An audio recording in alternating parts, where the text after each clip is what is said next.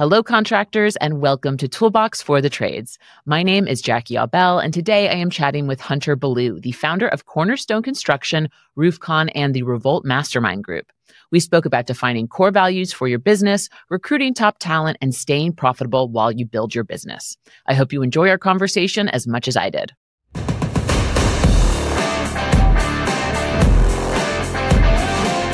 Hunter Ballew, you are the founder and owner of many companies, including Cornerstone Construction, RoofCon, which is a yearly conference that had over 5,200 attendees last year, and the Revolt Mastermind Group. Collectively, all of these companies make over $30 million in revenue annually. Today, you and I are going to be talking about building an eight figure business by establishing a good culture, staying profitable, and mastering the recruitment process. Hunter, welcome to Toolbox for the Trades. So excited to be here. I've been following ServiceTitan for a while, know a lot of the folks over there. So excited to be on the show and to talk through some of this stuff. I know. I'm so happy we were able to make this work because I know that I think ServiceTitan had a bit of a pre- presence at RoofCon last year. So I think this is uh, this is all good things happening. Yeah. I want to hit you with an icebreaker first. You know, sometimes I use icebreakers that you can just pull from the internet. Sometimes I kind of create my own based on your story. And that's what I did for today. So you're now this entrepreneur with all of these different brands, helping contractors, specifically roofing contractors all across the country. What's one lesson you learned in either your Marine, firefighter, or both of those careers? What's one lesson you learned there that helped you on your entrepreneurial journey? A lot of lessons uh, from the Marine Corps and the fire department. Funny enough, you know, me and my wife have had this conversation uh, specifically with our son. We have a, a little boy that's going to be six in a couple months. We have a little girl that just turned two this week. Um, and so talking about our little boy, and she was asking, me, like, you know, if we were to gently guide him, not push him, but guide him in a direction, would I rather him be in the military or the fire department? Actually, most people would think that I'd say military, but I think fire department. Uh, you know, military is like, it's really a lot like another job. Like people watch the movies and like you assume you're in combat all the time. For one, like 90% of the roles in the military, you're not ever going to see combat anyways. And then for 90% of the time of your career, you're not going to be in combat if you're in one of those roles. So there's, there's not like a ton of high pressure situations versus at the fire department, you're in high pressure situations almost every single day. You know, you're running a cardiac arrest, you're running a, a house fire where maybe someone's still inside. You're going to a, car wreck where there's three cars and you're having to triage and make a decision of who to treat first. And so for me, I credit a lot of my success to the fire department actually and being able to operate in high pressure situations um, when I was there. Cause, cause now, like I could tell you, um, I remember specifically uh, when I really realized that was at RoofCon 2022. We had Tim Tebow, John Maxwell, like a ton of big speakers that came out. And uh, that year we had 3,400 people. We were, we were still to come up. It was 3,400 people. And people were like, you're so calm. Like, oh my gosh, you would think you'd be stressed out and running around. I'm like, yeah, it's just an event, you know, like stuff is going to mess up and it sucks. Like I want the event to be better than anyone else wants it to be. So when stuff goes wrong, like I'm frustrated. Don't get me wrong. Uh, that's the tough thing with running events versus having a roofing business or painting business or siding or gutters, whatever. Like when you're doing a contracting business, you get reps every day or, or every week. You know, if you're any decent sized company, like you're going to be doing a job a week versus our event, we get one rep a year. So if we mess up, we have to go back to the drawing board and say, okay, we failed our attendees. We failed our vendors in this way. Next year, we have to be better. And so, um, you know, as I look back, I think just dealing with all the stuff I did at the fire department, it helped me handle the pressure and realize this game of business is not a life or death game. It ain't that big of a deal. When you hold a man as he dies and takes his last breath in front of his wife and she's bawling, that that that's you know one of my tougher experiences in life. Versus, wow. you know, I, I, tell the story often. Like like I've lost a million dollars on a single event.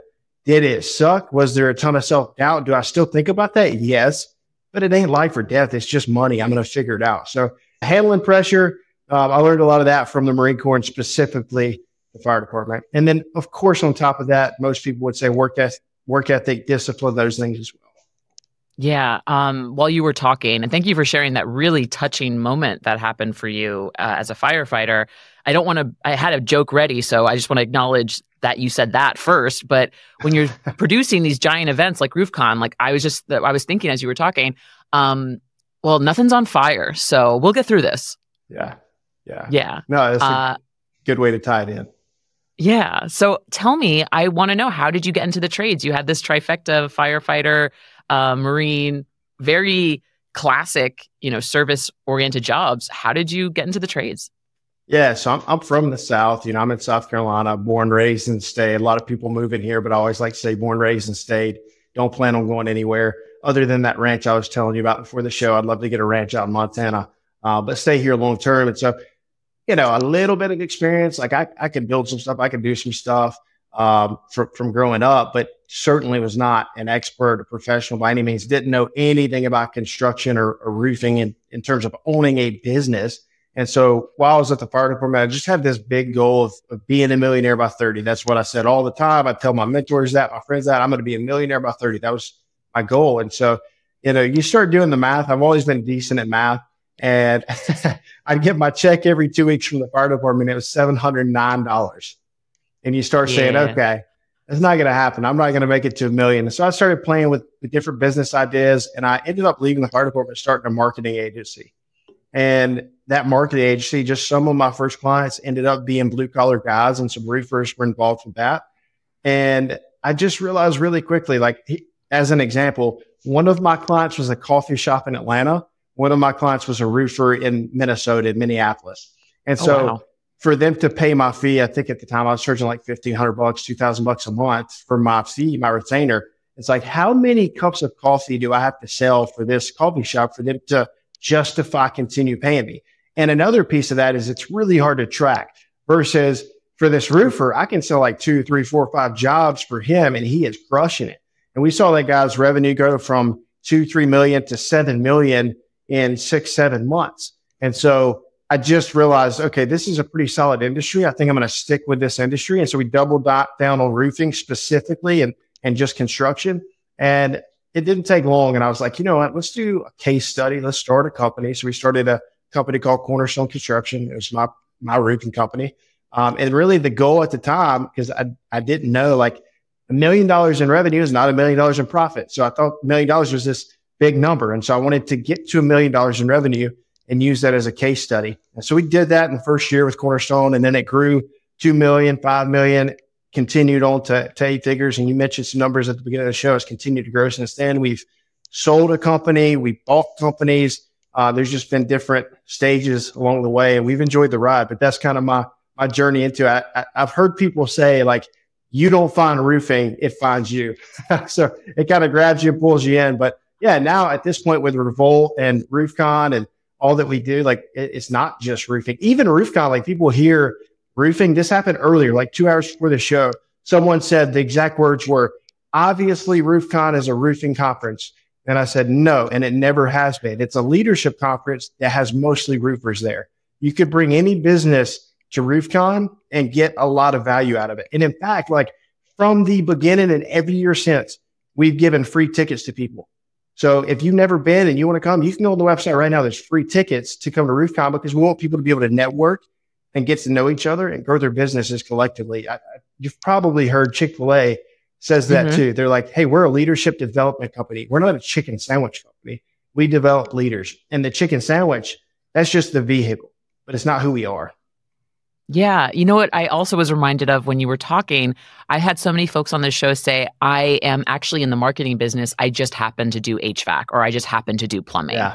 And I, I think it's so smart that you took on that marketing agency role and you got to see how different industries operated and you were able to see like, all right, how many cups of coffee do I have to sell for them to justify my $2,000 a month retainer? And you're seeing on the roofing side, like, oh, this is actually like a really great business model. So this is what I'm going to lean into. So I think it was actually very smart to do that agency model and kind of see okay, what do businesses look like? And it's so funny that you wanted to do the case study and then you're like, well, I guess I'll just keep doing roofing and we'll, and you sunsetted the marketing agency, didn't you? Yeah, yeah. Cause for me, it was like, for, for one, I just enjoyed the construction side of it more. Like I, I still didn't know a ton about roofing or even lo- learn a ton about it. I just brought in the right people to help me grow the company. And for me, having people in house that I could grow with versus sit behind a computer all day, I enjoyed that way more. That's awesome. That's so cool. So that's actually part of what you do at RoofCon, right? The leadership conference and at Revolt, which is your mastermind group. And you guys do mini events throughout the year. And you developed this thing called the eight figure checklist that you share with Revolt members to help them grow their business. So tell me a bit about how you developed this process. Yeah. So eight figure checklist is a process that's just been put together. It's not like I sat down one day and was like, okay, how can I build this checklist? It was like, years of okay, Cornerstone grew to eight figures and beyond eight figures, multiple eight figures, and you know we've helped. I don't, I don't even know how many companies we've helped at this point, and that that's not a, a flex or a pat on the back. It's just I, I, don't even know at this point because we've run so many retreats, master classes, RoofCon events. I, I do what's called legacy days, where I bring people in for a day at my office so they can see the setup and what it's like, and talk to my team and interview them. And so we've just seen what works over the years and we put a process in place. It's just as simple as a checklist. And so we would go in and we work with either our revolt members or someone comes in for a legacy day or we have growth partnerships we do. If we go work with them, you know, we'll pull up a project management tool. And if, if they have one, and if they don't, we usually recommend signing up for a free version of Monday. And we'll go into Monday.com and we'll build out accountability for them exactly like we have it inside of all my businesses. We'll build out a workflow of here's how you do it. You set up the task. Here's the updates. Here's how you set the deadline. Here's the one order for that task. Here's the team to support them. And we'll go through and we'll add all of the tasks they need to do over the next year and we'll prioritize it so they know which ones they need to get done in the next quarter. And so for us, just having something like that that moves them closer to that eight figure mark, if that's their goal. And I, I, try to make it very clear, like eight figures doesn't have to be the goal for everybody. Some people, I, I know some great guys in Iowa and Colorado and all across the US that have been doing roofing for 30 years and they're happy at 5 million and netting 20% and good for them. If they don't want any more stress than that, that's fine. But what you don't want to do is go in and build to 10 million and have 3% profit. I've been there. I know what that's like. The first year we broke 10 million and, and we grew pretty fast. It was because we were starting all these markets and reinvesting into the company. Now, if you were to look at the business and do ad backs and look at the EBITDA, it would be much higher uh, because we were starting the new markets and buying trucks and all the things. But you want to make sure that you keep profit in mind and, and don't just do it for vanity. Like you, you've probably heard that saying, vanity, sanity. Like make sure that your business is profitable. Yeah, we built a checklist so people can go through step by step all the pieces. Who's the leader you need to become? We talked a little bit about the book I have coming out uh, called Unlocking Eight Figures that talks about exactly this. It's basically like the checklist expanded big time so someone can go through it and not even have to, to pay me to consult them or come in or go to an event or anything but it goes to who is the leader I have to be? What's the foundational pieces of the business? What are the operating systems I need in place? What do I need to know about finance? That's my weak point as a business owner. I freaking hate finance as much as I love numbers. I hate looking at P and Ls and balance sheets and all that stuff. I just want to run the business and do sales and marketing. Uh, so just all the pieces, all the way through. What is the end game? A lot of people hear folks in the industry now talking about exit your business, M and A. How much can I sell for?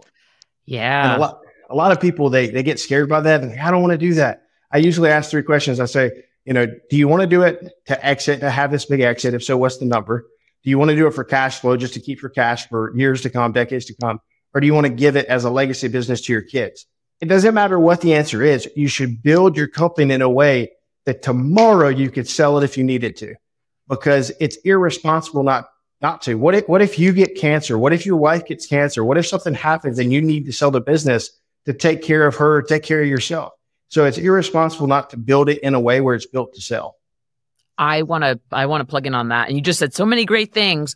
I had an episode, I believe it's it's in the 50s or 60s. We're rapidly ap- approaching episode 200, so y'all have to scroll back a bit but we had an episode where we talked about why it's so important to have a plan if that happens. A young owner came on, talked about how his father had unexpectedly passed away and he was running the business.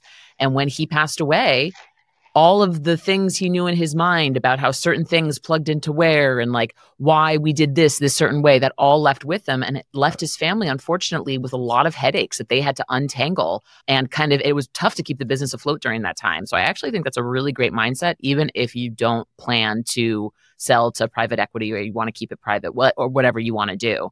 That is um, the most important piece but even second to that that i that i tell folks when they come in for our master class is you might just get a, an offer that you can't refuse. Yeah. It might happen. You might have the right buyer that needs to be in that market that likes the systems and processes that you have, that needs them because they know, hey, if I implement this in the other three businesses I own, it's going to skyrocket the value of those. So I'm willing to overpay this guy. That's what happened to me when I sold Cornerstone in 2021. It was a $48 million deal. That was before private equity came into the into the mix. That was a public company that came and pursued us. And so I, I had no interest in selling. They called me and I said, no, I'm not interested. And a mentor of mine, he said, man, I think you should at least go hear these guys out. Like if they're pursuing you, why not go negotiate, do the due diligence, learn the process? You know, you want to sell one day. And I said, you're right. I should. And we start talking numbers and it's like, okay, maybe they are players then. Maybe we can be part of something bigger. So build your company so it's there if you get the opportunity. Yeah. Oh my gosh, 48 million. Congratulations. Totally burying the lead there. Um, you mentioned that you kind of had humble beginnings. Can you just tell me what it was like for you to get that offer and like, this is how much we want to buy your company for? Like, did you just like pass out for five minutes? Like, did people have to throw water on you? Like, because that would have been my experience. Not exactly. And I don't want to sound like big guy on the podcast. Like it didn't. No, of course. Me. Of course, I was. Of course, I was excited. You know, like for me, I, I grew up. I don't want to. I hate saying poor because I wasn't like like we had food.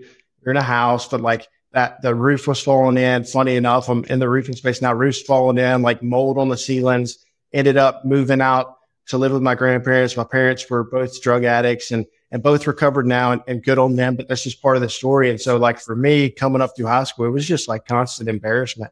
And so, revolt, yeah. like the meaning of revolt is revolt against average because I hated seeing my parents settle for average and not even average, below average. Like I was embarrassed to go to school in our vehicle. And yeah, so for me, that was the story is how do I not live a life like this where I'm paycheck to paycheck and struggling to feed my kids and can't have a car I don't have a car that hardly runs. Like I, I didn't want that. And so uh, that, that was part of my story. And, and when that happened, uh, funny enough, that was like right when I turned 30 years old. I, I told you that I wanted to be a millionaire by 30. It had already hit that, but this, this big deal comes and I was at a retreat. I was at a revolt retreat when I signed the paperwork.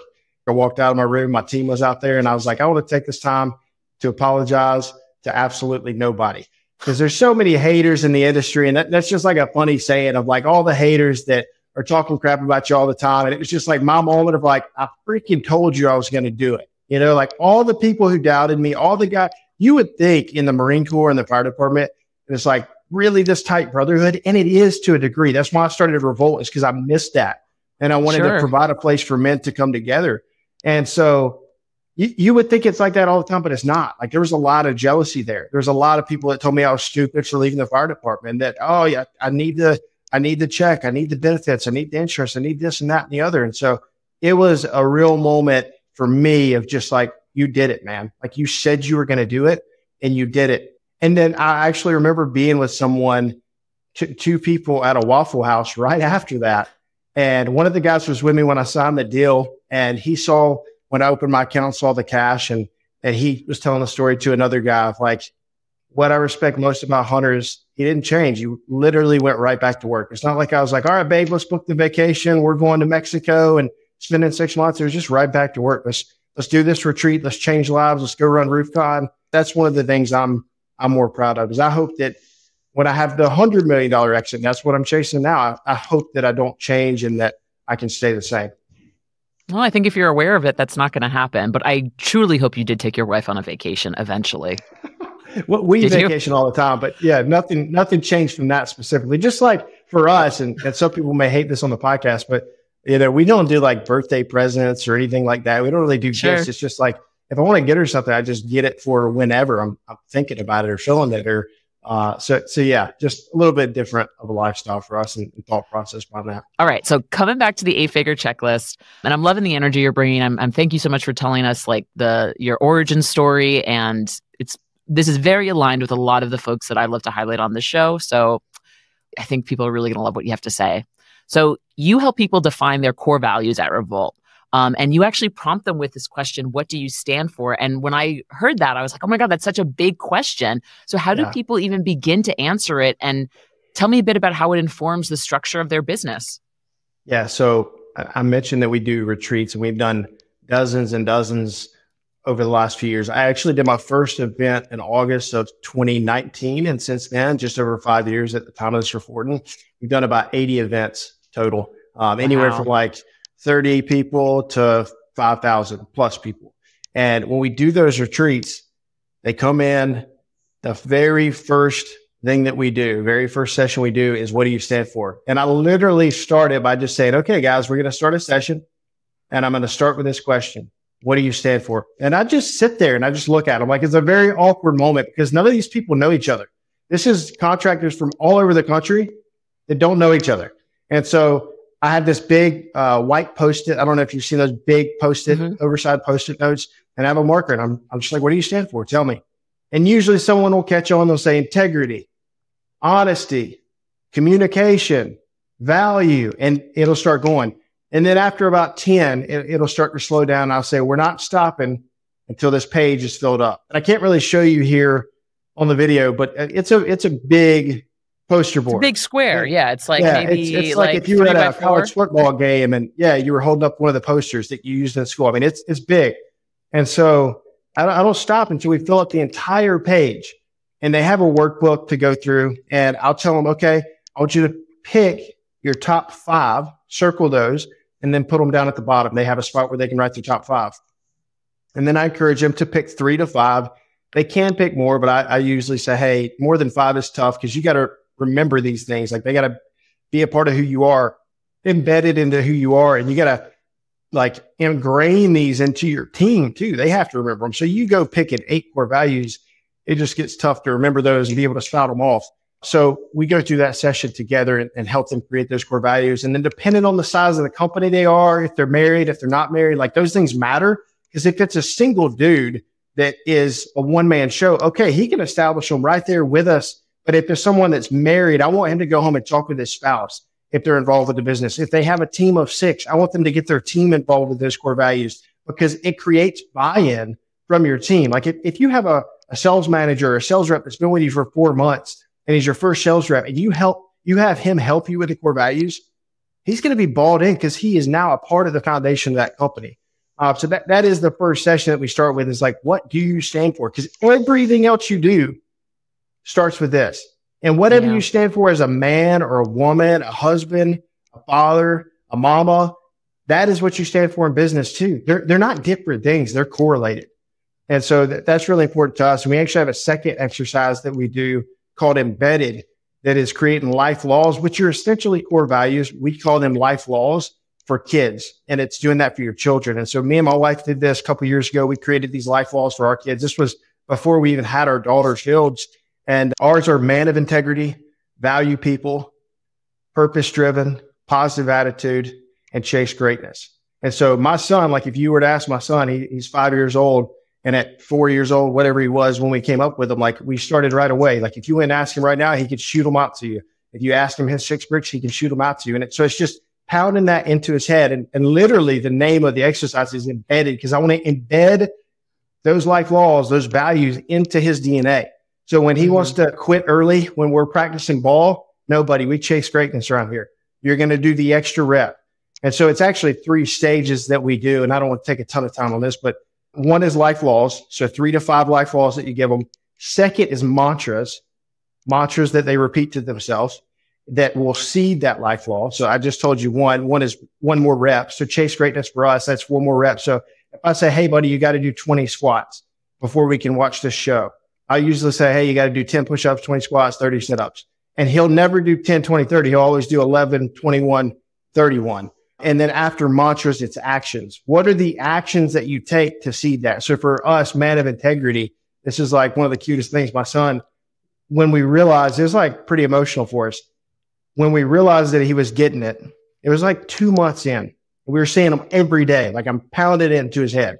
I would make him run up and down the stairs as he said, one of them in a uh, positive attitude because he couldn't remember positive attitude. I would make him run up and down the stairs, maybe extreme for four years old, but it worked. Positive attitude, positive attitude, positive attitude, back and forth up the stairs. And one day at, at work here out in the shop, he came running up to my wife with a sticky note. And he said, Mom, my life laws, my life laws. And she's like, What are you talking about? Like thinking, did dad write down my life laws or something? And she said, What is this? Because it was blank. And he said, well, dad said being a man of integrity is picking up trash when no one looks. At four years old, and we were like, man, like we got all emotional. We're like, it's working. You know, you just got to keep after it and make sure he remembers those. So for me, it's like starting with your kids, doing it yourself, doing it with your team, just pounding those values. Wow. Yeah. Oh my gosh. What a touching moment. Look, I picked, oh yeah. my gosh, that's so sweet. It sounds like you and your wife are very intentional about uh, raising your children, which I think is commendable and just like intentional in how you're growing your business and coaching other people. We try. Yeah. Not perfect. We try.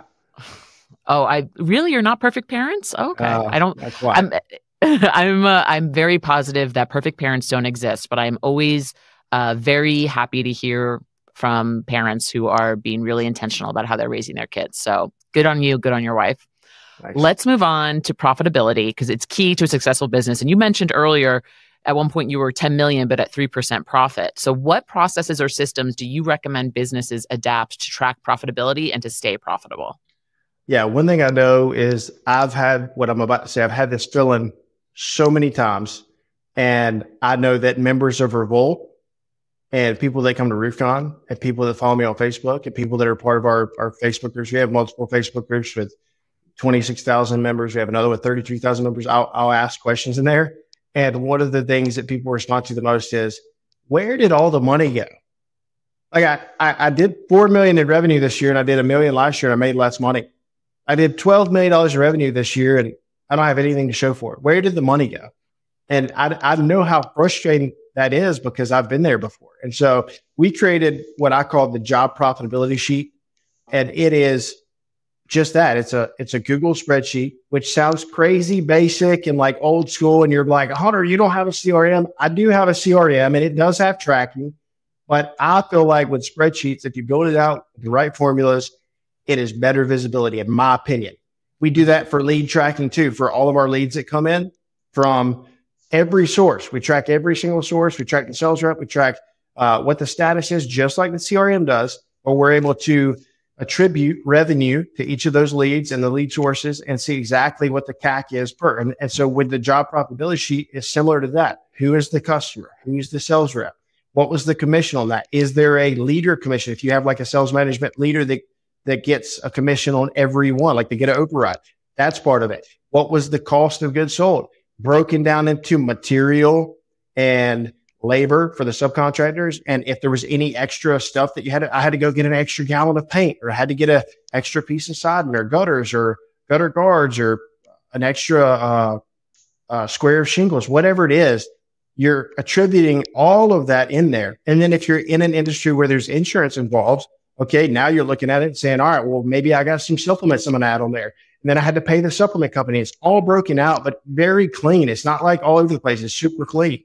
And it'll show you exactly what your gross profit is, exactly what your cost of goods sold is. And then from there, you can say, okay, well, my overhead this month was X. I know I netted Y. And so it just makes it very clean. It simplifies the process and you can look at it month over month. Like every, every month we create a new tab at the bottom.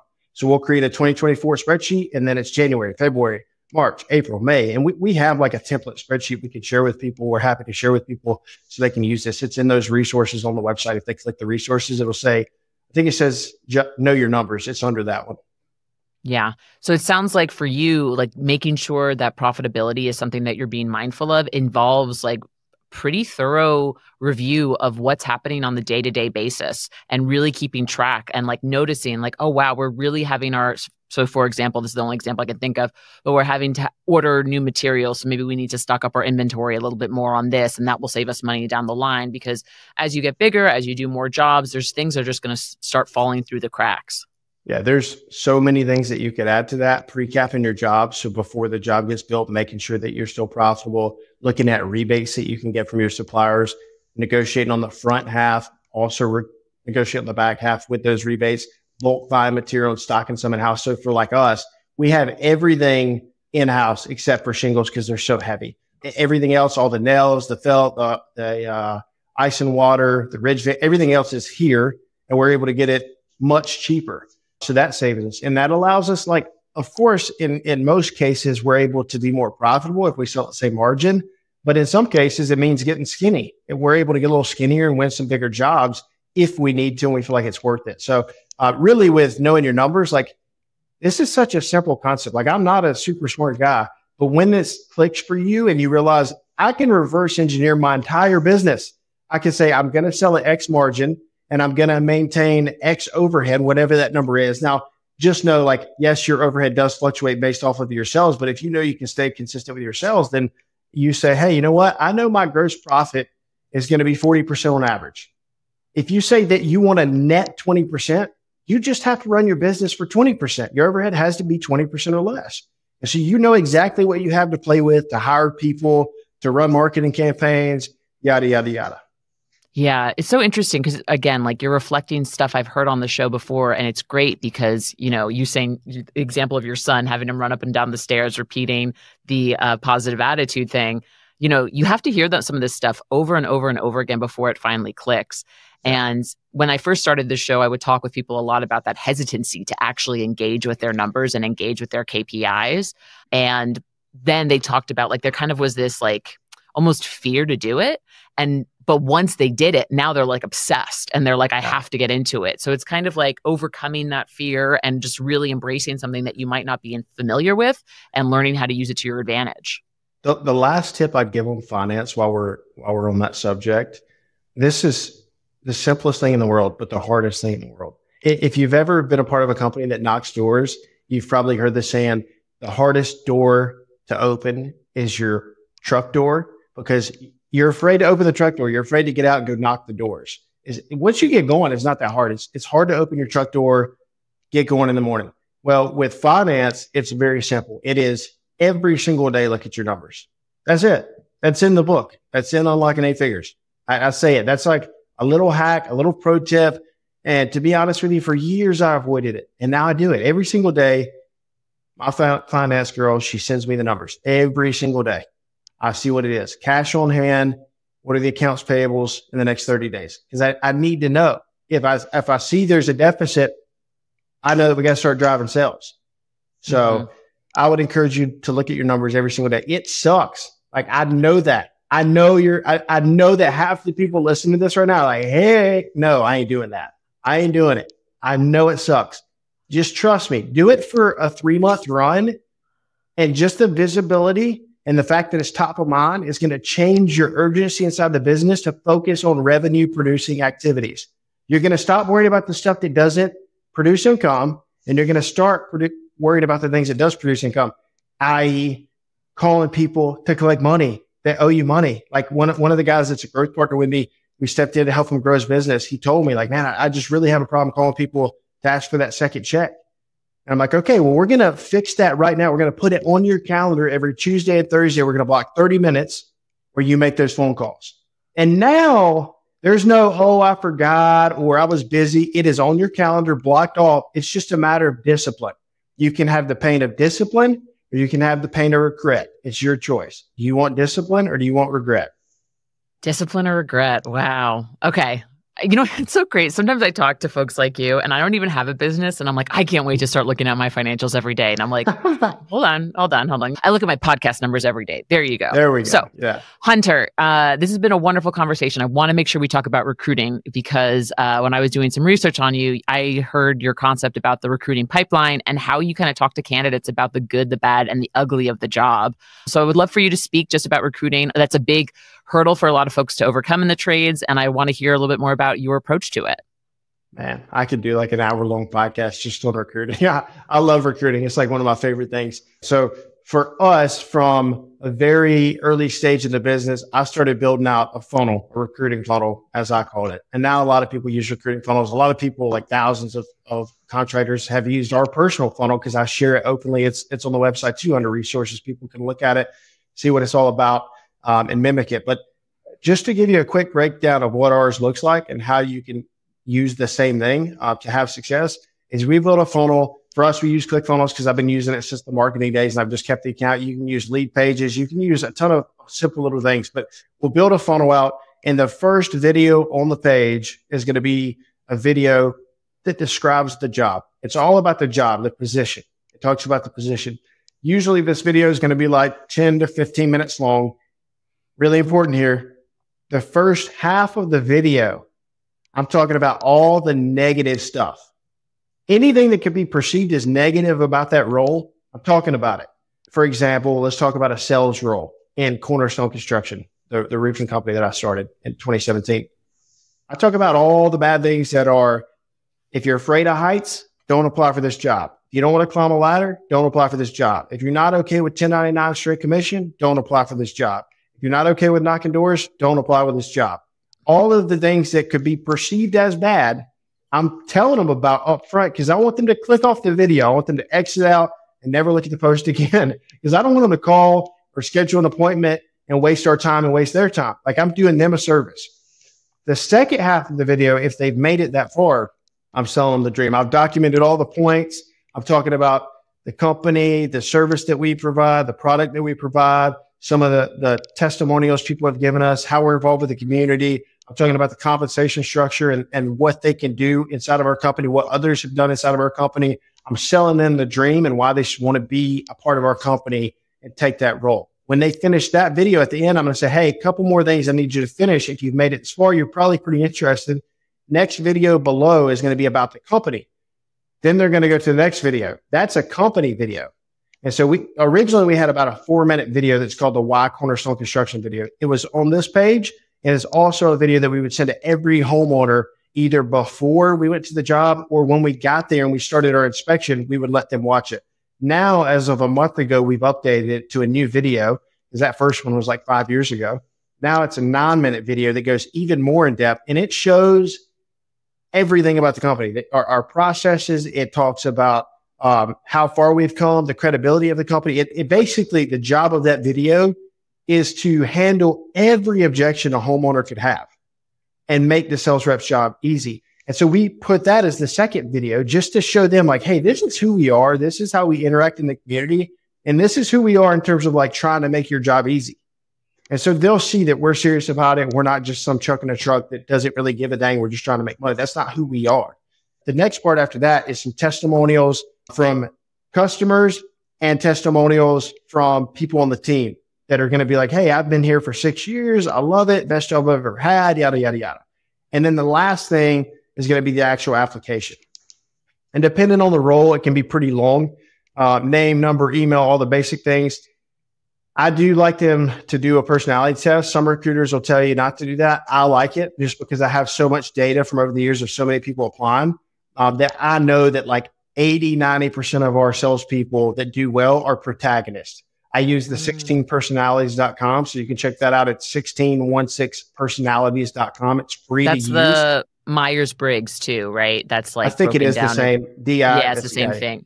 Yeah, yeah. Uh, okay. Sorry, so continue. I, I, definitely recommend that one. It's free. Check it out. Um, I've been using it for years. I'll also have them do, depending on what role it is, not for sales, I won't have them do this, but if it's a leadership role, I'll have, or a management role, I'll have them do the uh, rocket fuel test, which is visionary integrator. And if I'm looking for someone that's going to be like an admin or ops person, I want to make sure they're an integrator. I don't want them to be a visionary that comes with a million ideas and doesn't know how to execute on anything. This is really important if you're looking for an ops person or an integrator inside of your business. And then there's some other questions around like, what's your current income? What's your income goal? What are your top three life goals? I want to know those things and learn about them so I can make sure that this is the right fit for them. And then the last thing that I always do is I check their Facebook profile link because I want to make sure they're not some crazy nut job that I don't want to work with. so I make them put their Facebook profile link to check them out. And then they submit, depending on the role, they submit the application and we'll follow up with them or some roles will allow them to go and schedule a phone interview right there through Calendly. If they do nice. that, we have someone on our team that takes the phone interview. If they like them over the phone, they'll bring them in for the final interview in person and we'll, we'll hire them. From that point on, I'm going to add this because this is important in terms of recruiting, moving to training and retaining. We have a system we call Six Figure Blueprint. Again, it's in the resources on the website, but Six Figure Blueprint is a training system we've built out for years to where we can bring people in off the street that have no experience in sales or roofing, construction, anything. We can teach them what they need to know to go make six figures in this industry. That's why it's called Six Figure Blueprint. So for us, it starts with an intro section, a welcome section that talks about the company, the common mission, the core values, all the things. It moves to uh, talking about scheduling your week for success, how to schedule your week for success. It goes to the basics of roofing, like hey, what is a roofing system? What is a shingle? What is the valley? Talking about the parts of the roof. It goes to the CRM, any and everything you can imagine inside the CRM. We explain in video what we're trying to accomplish with this training. Some people say, and I get this. I've been the same guy because I was at the fire department fighting fire and doing these little things where people are like, oh, you need to follow the book. And the book's written by someone that's never been in firefighting. I hated that stuff. So I'm not saying, I'm not saying you can completely replace in the field training. What I'm saying is there's a lot you can replace sitting in a truck riding around with a guy for two weeks and then saying the same thing over and over when he's like, how do I do this inside of the CRM? How do, how do I add a lead inside of ServiceTitan or change the estimate or why would you not just put it into a video? And that way, when that person asks you over and over, you say, refer to six figure blueprint because it's in there. That, that's literally what I do. It got to the point where I'm sure people probably thought I was a jerk, but it's like, dude, I, I put hundreds of hours into building this out. You're going to take the time and watch it. Don't watch it just to get the little check mark and say you're done. Watch it to understand. And so that that's big for us all the way through sales process, lead generation for themselves, everything that they need to know to make six figures. We put in this training program to make them successful so we can retain them long term you uh, i could tell you are very passionate about this topic and i commend you for doing all of that explanation in a very short time. I know some people listen to podcasts at like double speed. I have a feeling they're going to like try to reduce the speed if they can. I love that in your process your hiring process you're just constantly giving the applicant the opportunity to like disqualify themselves. You're constantly giving yeah. them the opportunity to be like nope not for me no thanks. And i think it's so important as we combat this like hiring crisis in the trades that's been around, you know, for years now is like being upfront and honest about what this job is. And then once you get there, they're like, okay, I'm fine with all that. Now you can talk about all the great stuff. I think that's a really, really great method. Um, have, have you heard of uh, Dan Wright Recruiter? No, I haven't. They're out of they're out of Tampa, but they they run a recruiting agency. So like as we grow on, I still do the recruit total. For some stuff, I'll supplement and I, I, use an agency, which is Dan Wright Recruiter. And so they'll go recruit, recruit for you. Um, and that's been great because it adds to the flow of applicants for us. And now we're getting to the point where we're like, maybe we bring someone in house. We started interviewing people to bring in house. And I think that at some point, depending on your growth track and what you want to accomplish, that you look at bringing someone in house for recruiting as well. Amazing. Actually, if you don't mind, I would love to circle back to something you mentioned you talked about one of the reasons that you started Revolt is because you missed the brotherhood you had in the Marines and in the fire department. Can you talk to me a little bit about why you think that is so important for men and women in the industry to have this like sense of brotherhood, of sisterhood, of uh, siblinghood, so to speak? Like, why was this important yeah. for you to create? For for most entrepreneurs, you're on an island. Like that's that's what it is. You're on an island, whether it's actually true or whether that's what's in your head. Mm. And there, there's a lot of imposter syndrome. There's a lot of doubt. There's a lot of shame. There's a lot of questioning yourself as an entrepreneur. I, have been there. I'm still there all the time. Like you have big wins and then you look at the next level of people above you and you're like, gosh, why am I not there yet? Like, what am I doing wrong? And so these games are constantly playing in your head. You're questioning yourself. And so to get around another group of people that A can say, Hey, you know what? I did with those same exact things. That's pretty reassuring. Like I, I it, it can't be explained on a podcast. Like it, it really can't even be, explained in person what you experience at the retreats when you bring 30 men together or 30 women together. As of last year, we started doing the women's groups as well. My wife leads that.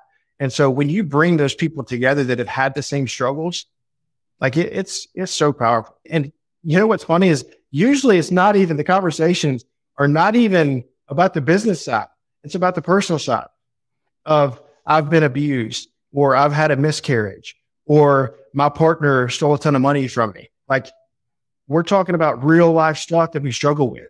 My dad was a real jerk and I, I deal with that throughout my entire life. And I'm trying to be a better dad, or I have this stepson that I don't know how to parent because he's rebellious. Like it's real life stuff. And so to have people around you that have been through similar situations, we created uh, this year. This was like one of the best ideas I feel like I ever had. It was called a struggle sheet. And so we took me and my team, we sat down together and we said, think of every struggle we've ever heard of at these 80 events we've done. And I, I won't even say some on, on, here because it gets pretty like dark. I'm some sure. of the things that people have dealt with.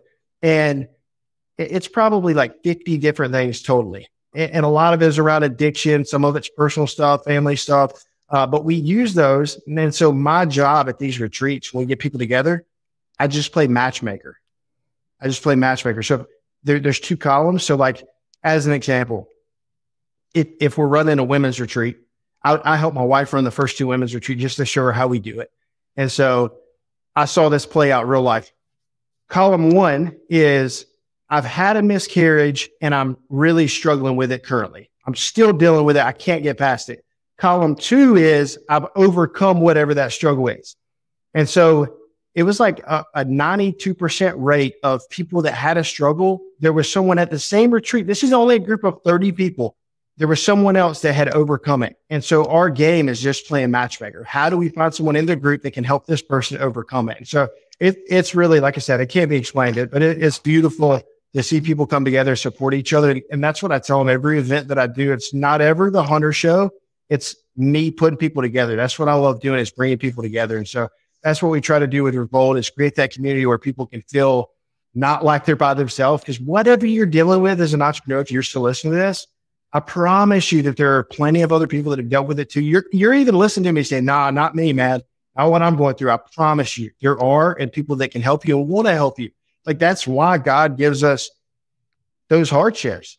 It's an opportunity for us to give back later on down the road. Wow. Yeah.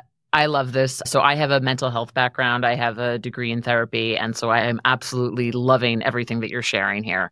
I think it's really phenomenal when folks who are at this level of success, at this level of production, at this level of visibility, I think it's so important to connect them with like like similar individuals who've overcome the same struggles because we love to talk about like work life balance, but the reality is like the things that happen to us, like we take with us everywhere we go. And so it's really important to acknowledge them and address them. So I love that you combine this in your Revolt group and, and all the, the really cool stuff that you do in supporting and building leaders. All right. Tell me about the book you got coming out, and then we're going to wrap this up. Tell me about your book, yeah, Hunter. Yeah. Yeah, I gave you a pretty good explanation earlier. It's basically the checklist expanded. So if you're like, I hate events, I don't want to go listen to this guy talk for two days, you don't have to do that. You can just read the book. I'll even send you one for free, so you don't even have to pay pay for it. But it's just an expanded checklist that I truly believe can change your business. My book, my first book, Make It Count, was all about leadership and legacy. And uh, I, I was kind of telling the Revolt guys, we have like a group chat for all the members. I was telling them yesterday I was all hyped up because the book's headed to print right now. As of today, it's headed to print. We're trying to get it to RoofCon 2024. And so, first book, Make It Count, is all about changing lives. Second book is all about changing businesses. And, and someone asked, I said, Well, what's the third book? And I said, Changing Kids' Lives. I've actually already got it in progress. It's, it's close to It's a children's book. But uh, yeah, you can check out Unlocking Eight Figures. Go to the website. Uh, we have all the resources there, or you can DM me on Facebook, and I'm happy to get you one. We'll get it printed. Amazing. And we're going to link all of these resources that Hunter mentioned in the show notes of this podcast. So feel free to check that out. Hunter Ballew, thank you so much for taking an hour out of your day and chatting with me. This was a wonderful conversation. I feel inspired, and I know our audience is feeling inspired too. So thank you so much.